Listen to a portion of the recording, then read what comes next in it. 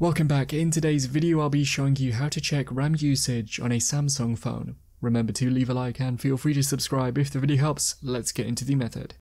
To check RAM usage on your device, open the settings app first and then scroll down and select battery and device care. Now tap on memory and it should say the RAM usage at the top and it will give you the option to clean this and free up memory by closing apps. That's how to check RAM usage on a Samsung phone.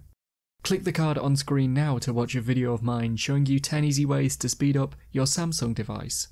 If you have any questions then let me know in the comments below and if you did find today's video helpful, remember to leave a like and feel free to subscribe for more tips in the future.